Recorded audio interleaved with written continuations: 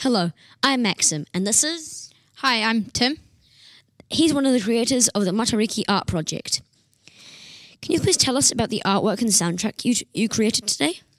Well, it started off by being told a story and then looking at some art pieces and then kind of getting what we need to do said to us and then just taking that inspiration and using it to create our own pieces.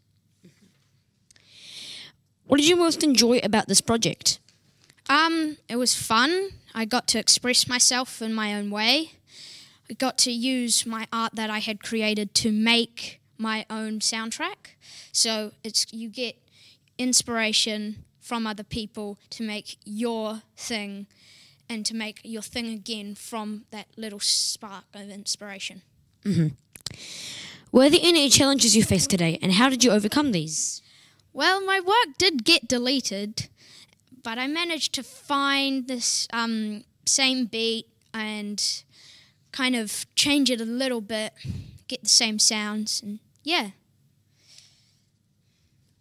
Uh, are you done? Yeah. Oh, okay, sorry.